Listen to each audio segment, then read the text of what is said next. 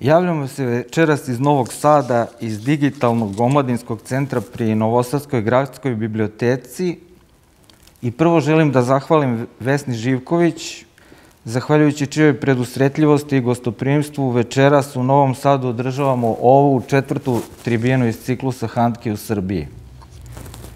Tri tribine održali smo u glavnom gradu iz koga smo se konačno izmigoljili i došli u ovo lepo mesto – Moja je dužnost da naglasim da ove sesije koje organizuju Udruženje književnih prevodilaca Srbije ne bi ni bile moguće bez finansijske podrške i pokroviteljstva Ministarstva kulture i informisanja u vladi Srbije, a u okviru velikog e, projekta podrška objavljivanju izabranih dela Petera Handkija u Srbiji. Večeras e, će nam o austrijskom književniku, o velikom piscu nemačkog jezika i dobitniku Nobelove nagrade za književnost za 2019. godini govoriti jedna sjajna ekipa, na čijem je čelu novosadski pesnik Srđan Sekulić, a tu su i arhitekta i publicista Bojan Kovačević i pisac Muharem Bazdulj. Ja bih počeo ovaj razgovor paradoksalno, ne od onoga kome sam nekako anticipativno namenio ulogu superstara ove večeri, dakle ne od e, Srđana, nego od Muharema. Handke je rekao, svi znamo tu njegovu rečenicu, ako jedan narod ostane bez pripovedača, izgubit će svoje detinstvo. Iako se ova misla ne odnosi isključivo ni na jedan konkretan narod, mi je hteli, ne hteli, s obzirom na tu povezanost sa Handkejom, doživljavamo i kao da je i nama upućena. Da li se može reći ili da li će jednog dana moći da se kaže da Handke pripada i kulturnoj baštini ovog naroda kao naš čovek i kao naš pisac? Pa dobro večer, jeli, ovim ljudima koji su s nama u ovom prostoru, a naročito ovom većem broju koji nas prati putem ovih digitalnih tehnologija. I mislim da da, da, da mi već možemo uh, Handke smatrati dijelom sobstvene tradicije. I ne samo na onaj način na koji je to u, u naročito u prvim danima i prvim nedeljama nakon, dodi, odnosno proglašenja Nobelove nagrade Handke proglaša, ne znam, posljednjim jugoslovenskim Nobelovcem ili srpskim Nobelovcem i tako dalje nego i na jedan substancijalno, substancijalno, substancijalno mm, dublji način. Mi znamo recimo, ajde, jedan od pisaca koji je u mnogo čemu Handkeov uzor, Franz Kafka, eh, on je kao pisac njemačkog jezika prvenstveno dio njemačke književnosti, međutim, kao čovjek koji je praktično čitav svoj život ili najveći dio života proveo u Pragu, njega sa određenim razlogom i češka književnost smatra e, svojim autorom zbog svog jevrejskog porijekla i ne samo jeli, u smislu krvne veze, nego u smislu interesa za hasidizam, za Izrael i tako dalje. I jevrejska književnost u nekom smislu, hebrejska ako hoćete, uh, Kafku također smatra uh, sa određenim razlogom dijelom sobstvene tradicije. Tako isto Petar Handke naravno prvenstveno svaki pisac je pisac jezika na kojem piše. Handke piše primarno, odnosno praktično isključivo na njemačkom i u tom smislu je pisac njemačkog jezika, austrijski pisac po državljanstvu i porijeklu. Međutim, na izvjestan način po majici koja je etnička slovenka, po nekoj vezi sa slovenačkim piscima što iz Koruške i Štajerske, što i same Slovenije, što po prevođenju slovenačkih uh, pisaca on pripada i slovenačkoj književnosti, a srpskoj književnosti, ja mislim, on pripada prvenstvom po vlastitom izboru, što, što ni pošto nije manje važno. Dakle, vi uvijek imate uh, neku pripadnost i neki identitet koji vam je nasljeđen i neki koji sami birate. I Handke je uh, primarno, ja zaista mislim, uh, početkom 90-ih, uh, kad se Jugoslavija tek raspadala, njegov uh, fokus je bio na toj zemlji koja nestaje. Međutim, kako je vrijeme prolazilo, kako se krivica za rat i za zločine e, fakturisala praktično isključivo Srbima, on od onoga putovanja, zimskog putovanja pa nadalje, zapravo svoj poetički, usuđujem se da kažem, izbor e, pravi prema srpskoj kulturi i srpskoj književnosti. Mi znamo da je on i prevodio Disa, da je razvio neke, neke vrstu vrlo kreativne saradnje sa pisima poput Žarka Radakovića, da je bio neka vrsta mentora i, i, i, i da tako kažem, pokrovitelja prevoda raznih srpskih pisaca u, u, u, u Njemačkoj i na njemačkom govornom području, tako da ga u tom smislu možemo smatrati dijelom naše književnosti. I naravno dio koji uh, ni pošto nije manje važan, znači ne samo ova njegova eseistička i nefikcijska književnost, nego i ovaj njegov, da kažem, magistralni dio njegovog opusa, a to je prozni i dramski, uh, vrlo često i tematski i, i, i lokacijski je smješten uh, u, na prostore Srbije. Dakle, roman Moravska noć, uh, koji je po mnogim uh, procjenama vrlo, da tako kažem, respektabilnih i važnih tumača i kritičara od Gabriela Josipovicija do Joshua Coena, možda i njegov najbolji roman, on već u svom naslovu e, referiše jeli, na rijeku Moravu i, i, i, i na Srbiju. I zanimljivo je kad se taj roman pojavio u prevodu na engleski, većina recenzenata je morala, e, jel se on zove Moravia Night, jel, u, u, u prevodu, oni su morali da kažu da se to ne odnosi na onu Moravsku, Moravsku koja je da. pokrajina u Češkoj, nego, nego rijeku Moravu koja, koja je manje poznata.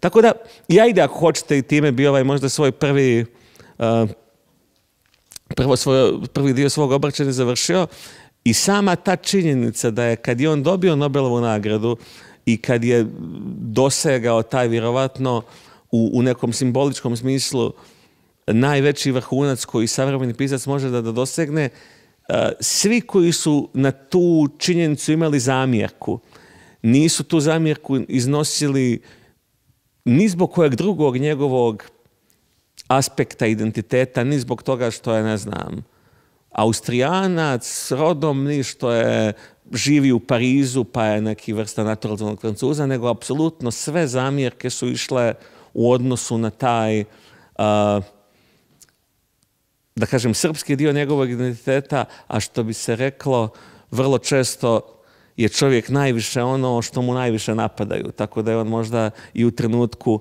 najveće svoje slave bio najviše Srbin. E, sad, ću Srđana da pitam koji je, barem koliko je meni poznato, jedan od najkompetentnijih, najpotkovanijih čitalaca Handkeovog dela kod nas. Jednostavno, mnogo si čitao Handke. Kad si se ti u kom uzrastu upoznao sa njegovim delom, od kada ga čitaš i kako je to teklo? Koliko poznaješ njegov poetski opus koji je kod nas gotovo nepoznat? Da. Ovaj, pre svega hvala Vladimir ovaj, i hvala Muhareme što, što ste me pozvali da večeras govorim na ovoj tribini.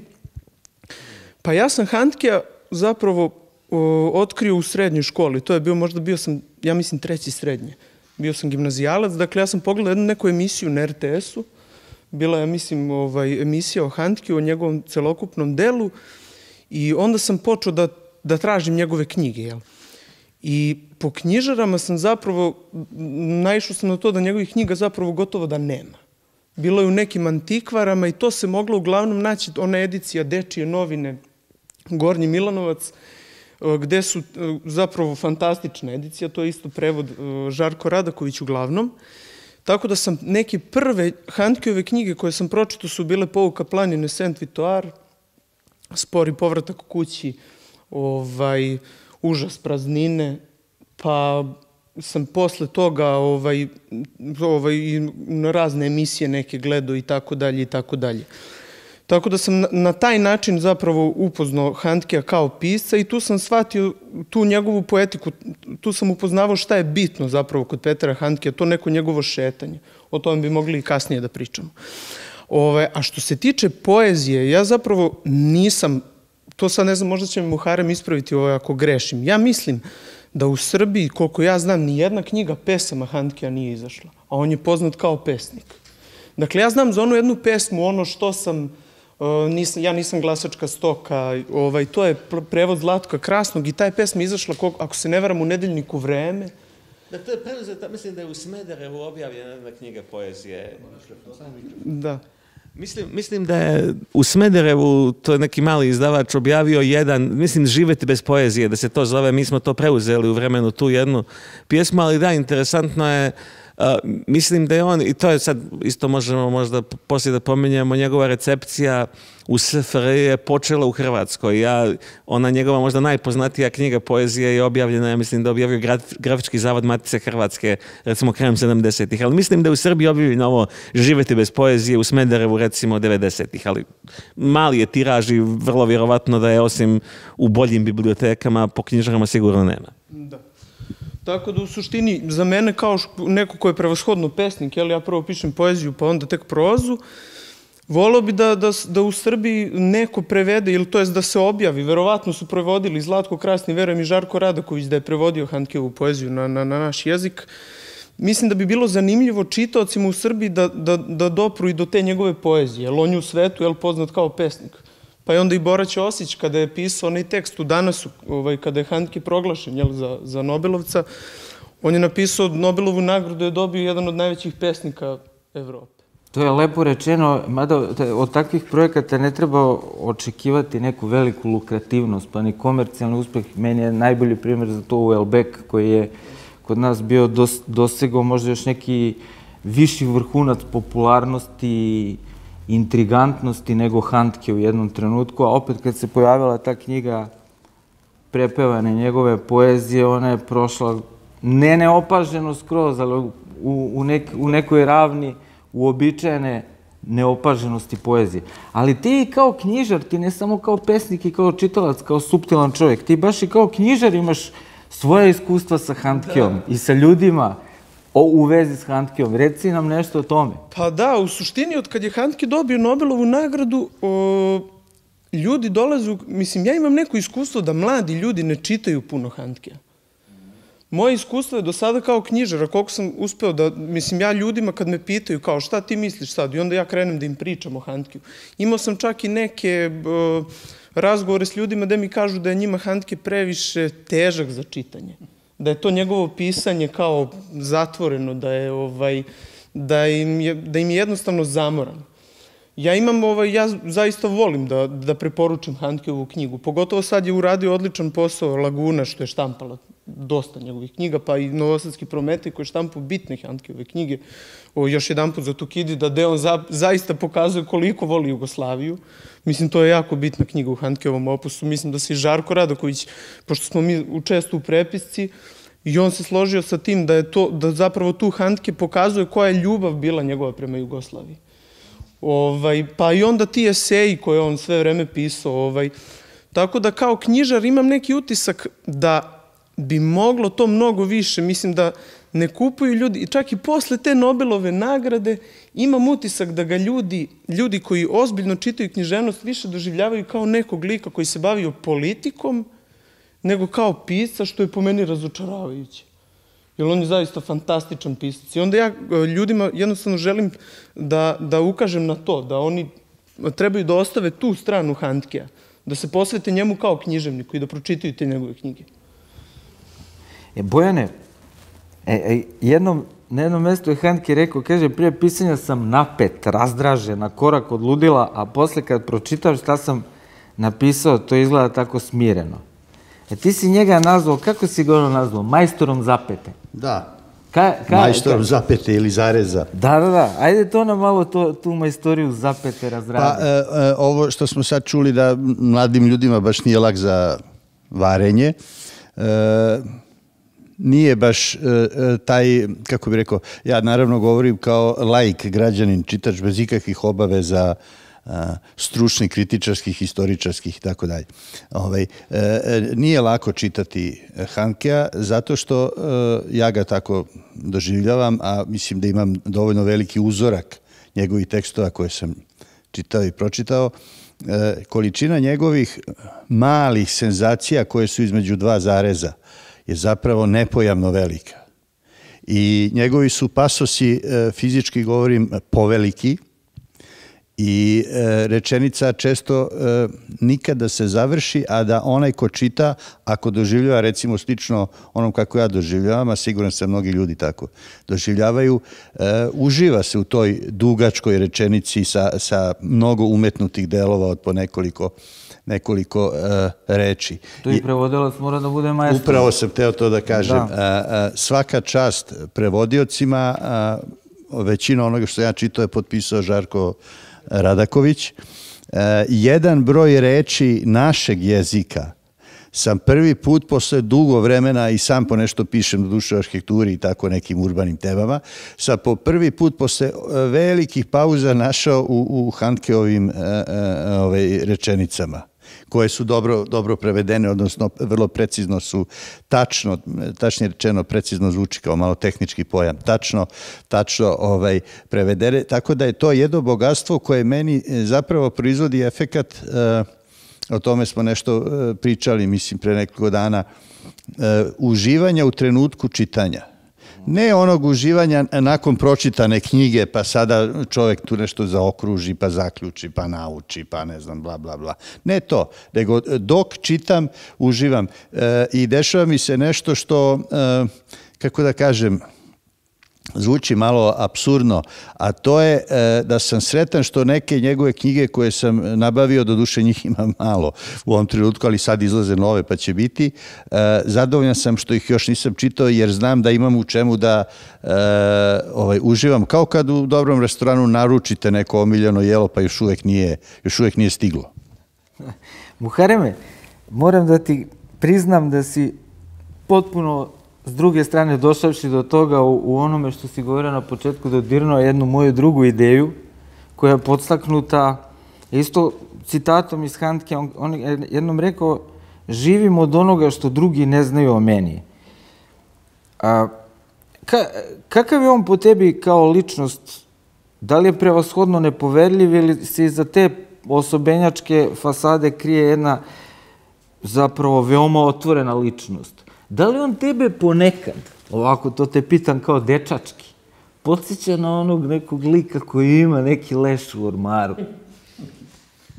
Ne, gledaj, uh, na tragu ovoga što su i, i, i, i Bojan i Srđan rekli i mm, Srđan pozivajući se na Boru Čosića kad je, kad je stavio tu žanrovsku odrednicu pjesnika i pa čak i ovo kad je rekao da, da, da mlađe ljudi ne čitaju i način na koji je Bojan opisao njegovu rečenicu, Handke zapravo zaista e, koliko god je objavio e, brojčano gledano i količinski gledano manje tehnički pjesničkih knjiga, on je više pjesnik nego u, u starinskom smislu prozaik, zato što e, kod Handkea zapravo vi skoro nemate pravi zaplet. Praktično ni u jednoj knjizi. To nije, znate, sad kad, kad kažeš šta se dešava, znaš, on je, ajde tako kažem, anti-Agata Kristi, znaš, to ni, ni, nije, nije pitanje zapleta i pitanje nekih peripetija, nego je pitanje stila. I sad na tragu ovoga što ti kažeš, Handke, a i to je također potpuno karakteristično za pjesnika, uh, on je u, uvijek, ali, ali zaista uvijek, praktično bez izuzetka, autobiografski e, nastrojen. I ima jedna rečenica je li čovjeka koji isto pripada tom srednjoevropskom arealu iz koje je Hanke Karela Čapeka e, koji se okuša u svim žanrovima i u drami i u prozi i u eseju i tako dalje, samo nije pisao poeziju i onda ga je neki novinar pitao pa kao eto gospodine Čapek kako to da niste nikad pisali poeziju A Čapek je rekao zato što mrzim da govorim o sebi. E, zato poezija uvijek govori o sebi. E sad, pazite, Handke je jedan u tom smislu paradoksalan čovjek uh, koji uvijek govori o sebi, a istovremeno mrzi da govori o sebi. I tu je, ja mislim da odatle dolazi taj tvoj osjećaj o, o, o, o zato što uh, kod njega uvijek, on je, on je iskren pisac, on je pisac koji zaista kopa duboko po sebi, kopa po onim stvarima koje većina ljudi izbjegava da kopa i drži i tako dalje, ali tu uvijek postoji neka nelagoda. I, i moj zaš, Handke zaista jedan od tih pisaca kod kojih je možda teže nego kod nekih drugih da objasniš šta, te, što bi klinci rekli, šta te tu radi, šta, e, šta ali ja, to, to se malo i, i graniči s ovim što je Bojan govorio, ali meni se u Handkijevoj prozi možda i najviše sviđa što je u toj prozi stalno osjećam otpor. A, Znaš kao, neko je rekao da zapravo najbolji pjevači su oni kod kojih osjetiš otpor uh, zraka glasnim žicama. Znaš, ili, ili otpor materijala. Kažu da je Michelangelo kad vidi kamen već vidio Mojsija, zapravo samo trebaš, samo si trebao da otkloniš otpor materijala. Ja sam... Uh, Znaš, često je u našoj književno-kritičkoj misli, a mi nažalost nemamo pravo a, imaš, imaš kao neki rutinski kompliment, kao ne znam, to je pitko, to glatko teče. Kako ja ne želim da nešto glatko teče, nego da, ovaj, ja, e, to, to, to, to. A, ta vrsta otpora je, je nešto gdje ti prepoznaješ najličniju njegovu stvar. Znaš, kad je on, eto, u tom trenutku, zaista, to ja mislim, taj njegov govor uh, koji, koji, koji drži, uh, to vratno skoro možda u 120 godina istoriji Nobelove nagrade možda najkontraverznija Nobelova nagrada za književnost, mislim možda zbog epohe u kojoj živimo i tako dalje. I onda on drži jedan potpuno, u tvom prvom pitanju kad si govorio nacija koja je zaboravila djetinstvo i tako dalje, on se vraća u jedan potpuno lirski aspekt. I onda u jednom trenutku, kad se sjeća svoje majke i kad se sjeća toga, on, on, on kaže, da sjećam, on kaže domotožije, znaš, kaže baš slovenačku riječ za, za, za nostalgiju, jeli, jeli. Takže, zato što je to tačna riječ, znaš, kao to, koliko god njemački čak bio jez, jezik kalkova, gdje se vrlo lako prave, prave nove riječi, ovo je u tom smislu njemu bila jedina tačna reč. I taj, uh, recimo, evo, mene sad, ali bukvalno kao čitaoca, ja nisam uzeo, prije dva, tri dana izašla ova knjiga Drugi mač, koja je zapravo njegov zadnji ili predzadnji roman, jer sad je ovi romani koje smo pominjali su vrlo često obnovljena bili izdanja neki koji su manji izdavači objavili, a ovaj drugi mač je baš prvo izdanje i to relati, jedan od prvih prevoda i imajući vidu da se on se tu pomalo naslanja u jednoj fantaziji, ali opet na užas praznine. Znači on ima jednu fantaziju o tome kako se sveti novinarki koja je nešto ružno napisala o njegovoj majici. Moram priznati, evo sad, to isto ti pokazuje otprilike da ti je do nekog pisca stalo kad e, te onako ljudski čitalački zanima njegova nova knjiga. Znači ne sad sa idejom da ćeš nešto o njoj da pišeš, ne sad sa idejom da je to, ne, nego onako bukvalo samo šta će sad taj čovjek da, da, da, da uradi. Šta će novo da kaže. A viš sad, ja, ja imam sada za, za Srđana jedno pitanje, pošto si ti, ti si ušao u njegov opus i krenuo da kopaš po njemu, da nabadaš kako ti šta padne šaka. Kakav je tvoj utisak o njegove evolucije? Jer je prirodno i normalno da se ti kao mlad čovek poistovetiš, ako ne sa njim i sa njegovim stilom, ali sa nekom idejom tog književnog puta. Kako si ti doživljavao knjige koje on objavljivo u svojim poznim 20. u 30. u 50. u 70.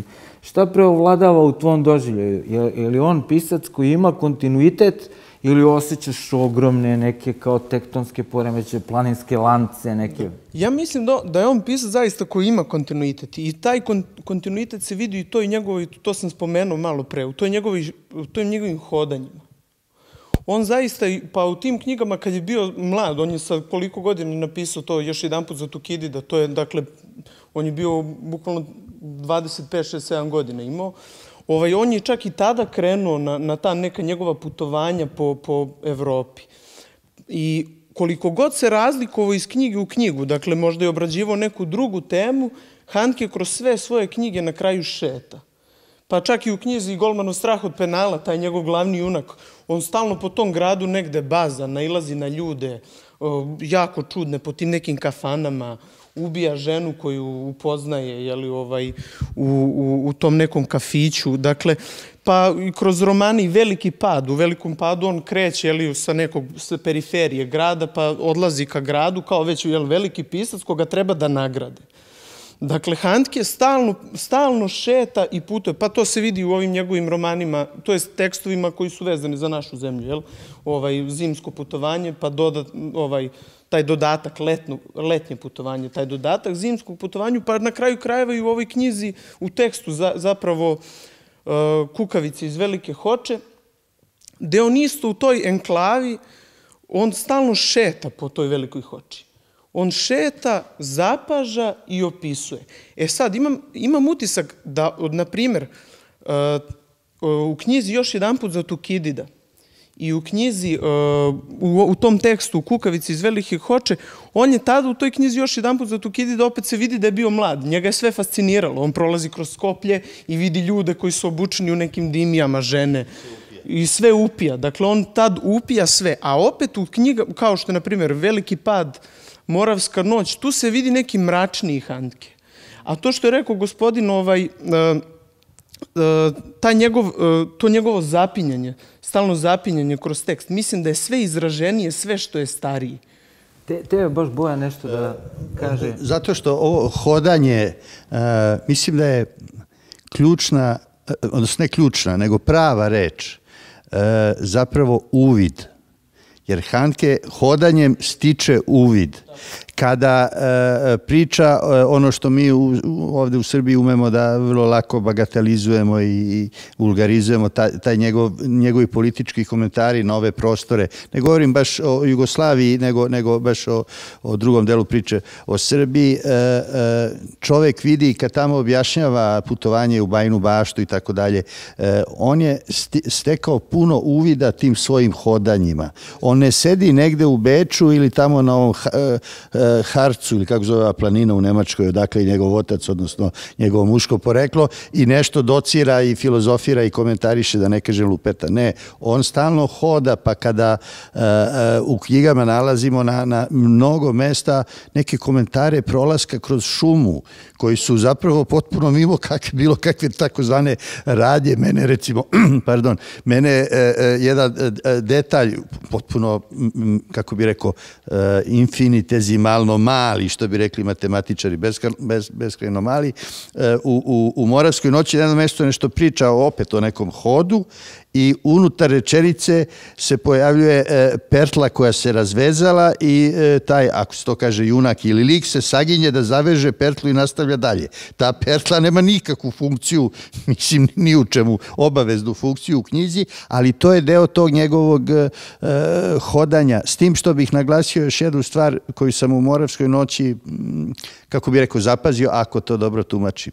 Ta njegova priča sa ocem, koji je u stvari ne, nejas jasan kao, kao lik i ne znam, nema fotografije i tako dalje, njega e, e, zapravo vodi e, u jedan između osloga to vodi u jedan, u jedan solistički, ali ne i solipsistički odnos prema svetu i mislim da je samo čovjek koji tako negde ostao strašno sam u nekim svojim egzistencijalnim e, postavkama može da daje komentare koje smo mi e, ocenili ne kao komentare koji nama idu u prilog, nego kao komentare nekog ko fino meri, ko fino vidi, jer iz te svoje samotničke pozicije nema nikakve obaveze e, ni prema, ni prema kome. Da još jedno, ovaj, oko tog njegovog tih uvida tokom šetanja, ima u, jedan sjajan detalj u emisiji sa Nedom Valčić Lazović jeste ovaj, savremeni svetski pisci, gde on šeta u onom svom dvorištu. I onda on njoj govori, pa to je kao kad, kao kad katolički sveštenici jel, čitaju sveto pismo ili liturgija, mislim, isto i u pravoslavnom svetu, oni zapravo šetaju. I onda on kao govori Nedi Valčić Lazović kako on šeta kroz svoje dvorište, čak i u dvorištu na tom malom prostoru, on ima te svoje šetnje i on zapisuje dok šeta, on čita i šeta. Dakle, to je jako bitna stvar u Handkeovom, u Handkeovom ovaj, čitavom opusu, koja se proteže od njegove, ja mislim, zaista prve knjige, pa, pa čak i do ovih poslednjih knjiga. Meni je najupečatljiviji deo iz tog intervjua bilo ono kada Neda stiže 20 minuta ranije, a on onako nepatvoreno, nervozno dočekuje ono kao što ste poranili, mogao sam kao još da radim. Ja sam zabrenuo u tom trenutku za Nedu. Ali Kaži mi ove Muhareme, kad imaš ono čoveka za koga svi govore i ili bar ceo svet misli da je uspeo u životu. a to je, ne kažem da to nisi ti, ali sad govorimo o Peteru Handke, znači on je čovjek za koga bi se moglo reći da je, da je uspeo u životu, a ima vrlo, vrlo direktan otklon prema pobedi, kao prema pojmu. On čak kaže, budi lukav, upuštaj se u sve, prezri pobedu. Ja nisam pobednik, moja narav nije pobednička, kaže on. Kako ti to sad tu nit tumačiš? Pa tumačim je tako što on uh, zna da je, da je pobjeda kreativno, u kreativnom smislu najopasnija pozicija. Zapravo mnogo se bolje i mnogo se inspirativnije stvara iz poraza. On je mogao, on je jako mlad, ovo što je Srđan rekao, on je, on je postao neka vrsta klasika kao mlađi od 30. On je ono, kad je on ima u Princetonu, u onoj grupi 47 održao bukvicu, on je bio klinac praktično. On je postao zvijezda književna, tako sa 30, kasnim 20. ranim 30. godinama. Istini za volju, najveći broj tih nagrada je dobio kasnije, ali zapravo Handke je već, mislim, on 42. godišta, on tako sa 40 godina je već ono neko ko može da bira šta će da radi, pa može da se rađuje s Wendersom, može ovo što kaže da hoda, da pravi te neke putopise, da on je, to je to isto, to uvijek treba zaboraviti, on je čovjek koji je jako jako kreativan u onom izvornom smislu. I ovo, pominjali ste taj intervju, ali ima onaj film koji je na austrijska režiserka radila koji je bio i kod nas u distribuciji gdje se vidim stalno nešto radi rukama, uzgaja nešto u tom vrtu, ima potreba. Isto tako on jako puno zapravo on je napisao 80-90 knjiga. To je, on svake godine praktično objavi nešto i kod njega postoji, ja sam uvijek uh, kod Handke je pronalazio uh, potpuno izvan ove lokalne paradigme i kad sam se pitao zašto je on toliko popularan recimo u Americi, zašto su ljudi od Sema Sheparda do ne znam Patti Smith ili tako pronalazili u njemu uh, neku vrstu uzora i, i, i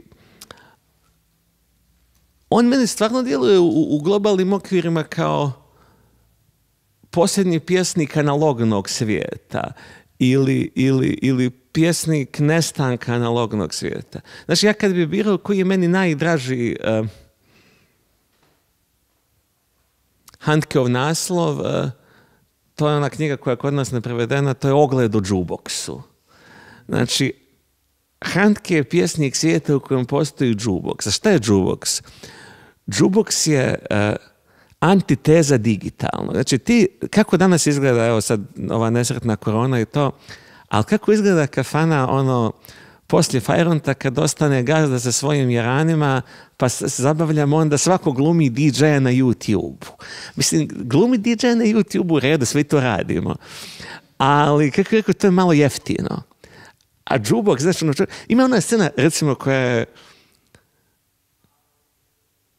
to je naj, bolja scena u istoriji televizije, zadnja scena Sopranosa. Kad Toni Soprano, znači u glavu je raspisana potjernica u nekom restoranu u New Jersey pravi večeru za ženu i, i čerku i sina. I sad mi znamo da je to opasno. I sad on prvi dolazi, sjeda sam, svi trebaju da dođu i sad onako, ne on vidi jukebox i priđe džuboksu i ovaj, vidiš da gleda one pjesme i sad vidiš kao šta je ovo, ne znam. I onda prepozna jedno. I onda je pusti, to je ona pjesma ovaj, Don't Stop Believing. I onda kako ide ta pjesma, sad mislim, ode daleko, mi pratimo kako dolazi žena, kako dolazi sin, kako dolazi čerka i stalno se bojimo hoće li, hoće li neko od ali kako rekao, ta, čitava ta scena ne postoji bez tog džuboksa. E da kažem, Handke je autor ogleda od Jukebox. Handke je autor uh, malih gradova u kojem postoje kafane sa džuboksom i fliperom i bilijarom, ako hoćeš. To je, ovaj, ima sad je na ovom zadnjem Springsteenovom albumu ovaj, House, uh, ima, ima, ima pjesmu House of 10,000 Guitars, gdje otprilike kaže, uh, to su mnogi čitali kao neku anti-Trumpovsku pjesmu, ali otprilike Springsteen kaže kao ja se kao, uh, ja pjevam za, za, za, za kafanu iz malog grada koja ima ono fliper i jukeboxe. Meni je Handke, mislim ja sam odrastao u tom svijetu, kako da ti kažem, ja, ja sve što znam o svijetu naučio sam iz kafana u kojim postoji fliper i jukebox i to je prepoznavanje ako hoćeš onaj nekog uh, pogleda na svijet koji, koji ja se bojim nestaje, ali s jedne strane jedna od mojih omiljenih estetičkih e, procjena 20. vijeka je ona kad je, kad je, kad je George Steiner rekao da je najbolja umjetnost 20. vijeka liči kao da si prvi put u životu ušao u Louvre, a znaš da je i zadnji, nikad više neš doći u Pariz i kažu ti za pola sata se Louvre zatvara. I šta onda ti za tih pola sata možeš da radiš? Možeš dvije stvari. Ili da staneš pred jedno umjetničko djelo i da ga dobro gledaš ili da trčiš kroz Louvre. I zapravo sve što valja u 20. vijeku je Louvre zadnjih pola sata, samo što većina trči, a Handke stoji pred, pred jednom slikom. Ja bi ovde, Iz, izvoli. Ja bi ovde dodao što je nadovezao se na Muharama, što je rekao, Muharam je u pravu. Handke jeste ovaj pisac koji zapravo voli ta mala mesta, ta analogna, kako je Muharem rekao. Ima u, u, tom, u tom tekstu u Kukavici iz Velike hoče, hoče gde on dolazi, on se opčarao što u Velikoj Hoči, to je, znači, to je malo selo na Kosovo i Metohiji, ovaj, bukvalno ne znam koliko tamo ljudi živi ta enklava, ovaj, ima kafana Ramboje. I on, I on u toj, znači njemu posle, kad on piše kao neki postscriptum posle tog teksta, jel, šta mu nedostaje ovaj, iz, iz velike hoče, on nedostaju mu ljudi, to jest ljudi koji sede u toj, to je neka limenka, bukvalno, gde oni sede, puše, piju, I to je njemu, znači najviše mu nedostaje pev kukavica i to je fantastičan, mislim, opis zbog čega kukavica nema više u, u srednjoj Evropi, ovaj, i kako su, kako su se sjatile sve u, u veliku hoču, to je meni jedan od najlepših opisa ovaj, u književnosti. U, mislim, o Kosovu su napisane knjige i knjige jel, u srpskoj književnosti. Mislim da je Handke tim malim motivom dao krunu svim tim knjigama ovaj, i, i tucama teksta koji su napisane o Kosovo i Metohiji.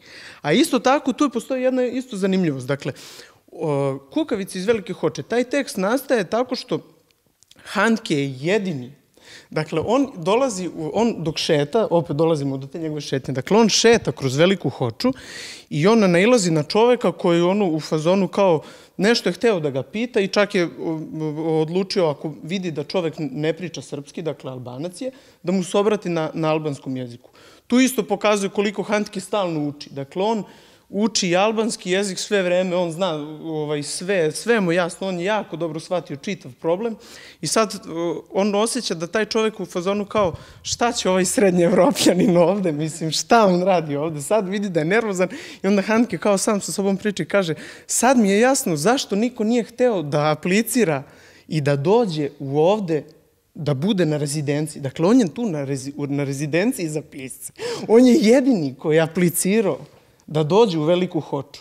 Zato je Handke zaustavljen u vremenu. Jel to je i tema ove, ove tribine? Uravanje i zaustavljanje Da, on da. je čovek koji bira mesta na koja slabo ko ide.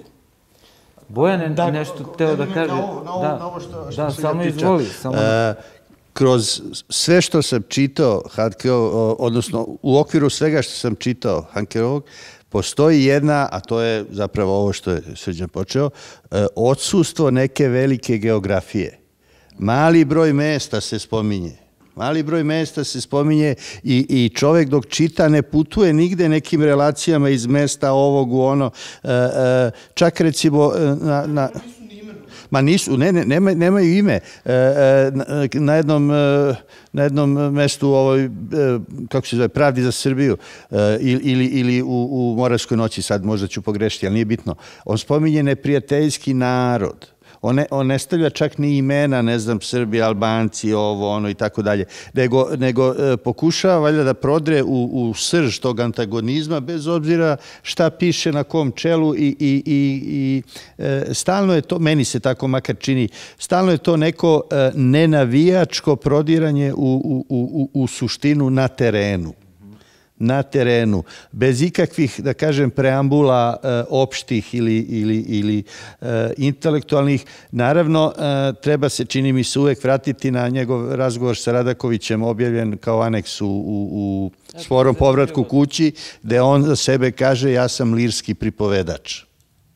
Ja sam lirski pripovedač i u, u, u paru sa tim njegov komentar da razum ne može dobro da zapamti, ali mašta e, ne zaboravlja što, što ovako deluje nama ponekad možda čudno, jer mi mislimo da zapravo je pamćenje deo razumskih e, e, sfera u ljudskoj duši, u ljudskoj glavi, a ne, a ne ovih poetičkih.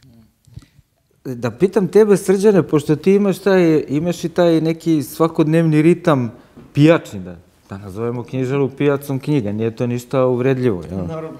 E, sad šta misliš ti, odakle Handkiju tako da kažemo, hermetičnom, suštinski, ono, pesniku koji se služi prozom, da se izrazi poetski.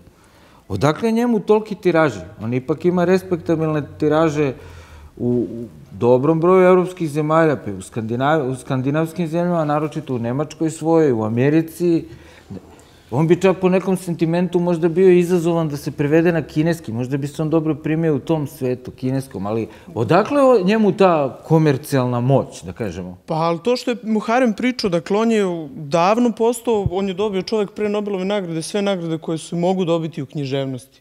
Dakle, on je čak tim prvim, prvo imao taj dramski komad, psovanje publike.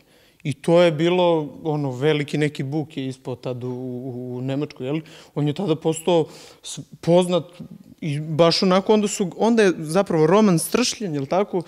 Da, Stršljenovi koji je isto tako njemu donao veliku, veliku slavu, pa i malo ljudi zna da je on uh, uh, pisao i uh, Kaspara. Dakle, taj film čak postoji Kaspar Hauser, to je onaj neki uh, dečak koga nalaze u, to je ona nemačka stara saga Dakle, Handke je tu priču ovaj, isto tako, ta, ta predstava se igrala u Nemačkoj, pa ja ne znam da li se čak možda i u Beogradu nekada odigrala po Handkeovom tekstu. Ali znam da je posle napravljen film Kaspar Hauser, Tajna Kaspara, Tajna Kaspara Hausera, koji je bio isto ovaj, fantastičan film gde, gde se, koje, tema filma je genijalna. Dakle, nalaze dečaka u nekom podrumu koji je bio tu zatvoren čitav život i ne zna ništa. Ne zna ništa o spoljašnjem svetu i onda e, ta neka elita, nemačka, jel, ili austrijska sad, ovaj, je oduševljena njim. On je potpuni divljak. Dakle, Handke je dolazio uh, kroz filmove, pa i kroz književnost, pa i kroz pozorište i poeziju i kroz filmove do toga da je on postao svetski poznat. Šta kaže Knausgor? Da je po njemu užas praznine moguće i najbolja knjiga napisana o majici ovaj, u istoriji književnosti, jer Knausgor je oduševljen. Čak ga je, ja mislim, prevodio, ne, on, nije ga on lično prevodio, ali ga je štampao u Norveškoj.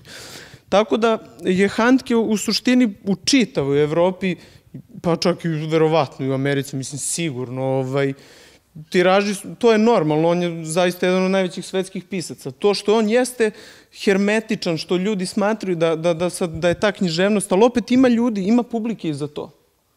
To su govorili i za Tabaševića, je tako? Ovaj, našeg drugara, da Vladu Tabaševića, on kao, on je, nije čitljiv. Pa ne znam, meni je roman ovaj, Sveti Sebastian čitljiv. Ja sam čak uživao u čitanju teksta. Što reče Muhare malo čas, neću čitljivo, neću pitko. Pa da, mislim, u, vi, vi možete da birate tekst u književnosti, šta želite da čitate. Za, postoji publika za, za svako, jel, štivo. Knjige treba prodreti, ne treba ih potrošiti lako i... Tako je. E, Tako nije to.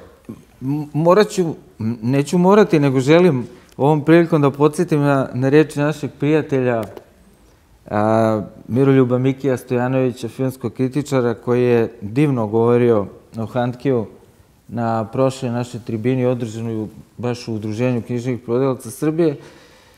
I on, on nam je majestralno i magistralno opisao i predstavio opus Handkeov kao cineaste, filmski njegov opus. I onda je rekao da ono što Handke postižu u, u literaturi kao genije jezika, u filmu postaje nešto što je Miki Stojanović opisao kao genije odsustva jezika. E, da li ti očekuješ da on eventualno sada snimi neki film posle onog uslovno rečeno neuspeha 2017. kada je obnovio saradnju sa Wendersom. Da li je možda sada film više njegovo stvaralačko ishodište ili teren slika, ta tišina ili i dalje pisanje? Znaš kako, on je čovjek koji se bliži 80. rođendanu i um, iako naravno ima neki od najboljih režisera današnjice su tako u devetoj deceni života ili dalje, ali on ipak nije primarno... Znaš kako, film je, to je Kurosawa dobro rekao, Kurosawa je otac bio iz, iz umjetničke porodice, a majka iz vojničke. I on je rekao, meni je za karijeru režisera više su mi valjali majčini geni nego očevi. Ovaj, ti da bi se bavio režijom, ti moraš da upravljaš velikim brojem ljudi i to je komplikovan posao socijalno. A meni se čini da on je usamljen čovjek, mislim, i da njemu zaista više, ja ne, ne, ne dovodeću sumnjeni taj citat Mikijev koji si ti pomenuo, ni zaista ja volim masu njegovih filmova na taj način, ali on je primarno uh, čovjek genije jezika, umjetnik jezika. I ja, to je jedna recimo od stvari koju mi, ja ne znam da li, da li Bojan ili Srđan, ja ne znam njemački, ali ja kad pričam s ljudima, koji su naročito izvorni govornici njemačkog, oni kažu, ali sve što vi nalazite u Handku, mi nalazimo još 30 ili 50% više, jer kaže da, da, da je ta njegova e, Jel im, im, paži, imaš, eto, mislim, ti si isto između ostalog prevodilac, pa znaš, i, i puno si prevodio, imaš pisce koji u prevodu gube manje i koji gube više. Gotovo je opšti stav da Handke jako puno gubi u prevodu, a opet i ti prevodi, evo mi se svi slažemo, a, a, a ne samo mi, ti si dobro rekao, malo prije kad si spominjao, uh, mislim, mala fusnota, nema on nigdje sad neke tiraže ekstra velike. On ima pristojne tiraže, ali to nisu tiraži Knausgora, evo kojeg on spominje, ili Elene Ferrante ili to, ali ovo recimo što si rekao, u zadnje vrijeme dosta je prisutan na kineskom to je jako zanimljivo. Ja sam, ja sam se malo, kad, kad je bilo ovo, malo sam se bavio tim recepcijom u svijetu, ono recimo što mi je jako zanimljivo, zato što su ove naše budale, kad kažem naše, mislim na Balkanu generalno, njega pokušale da proglase islamofobom, kao što slično kao Andrića, on u Turskoj ima strašno dobru recepciju. I sad ja više, kako bih rekao, vjerujem turskom odnosu prema islamu, ono kao ima malo više veze. Ovaj. Ima jedan detalj o kojem je skoro nepristojno govoriti javno ali, ali, hajde, ono, kao.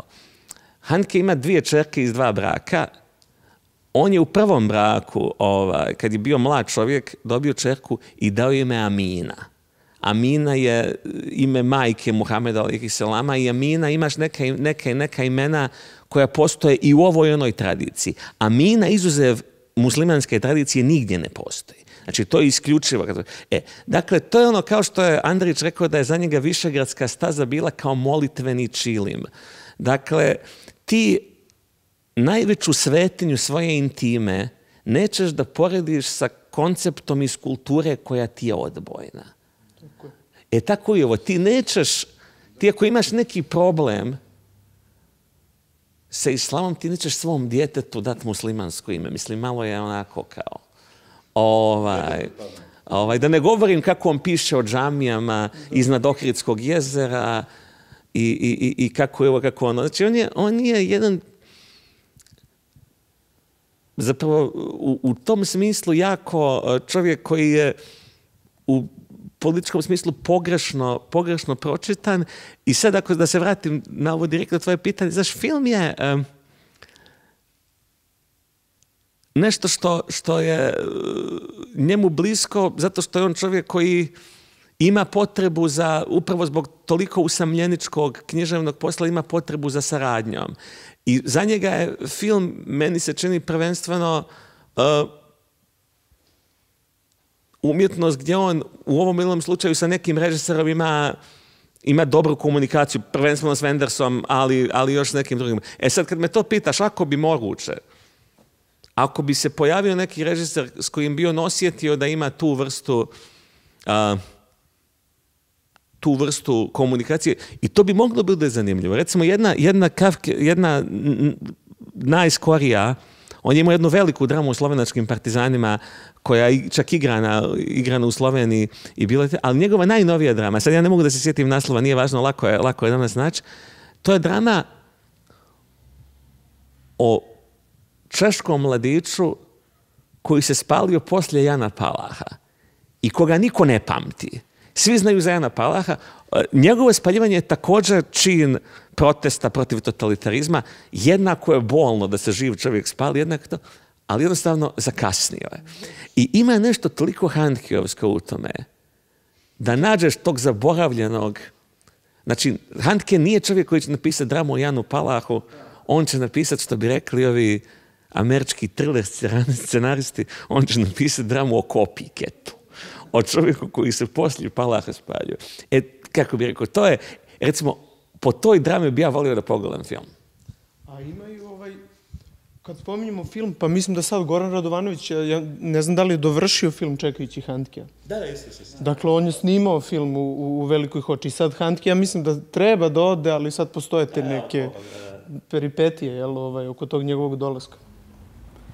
Bojane, ajde, reci nam ono lepo što si nam rekao prošli put, ali to uvek vredi čuti.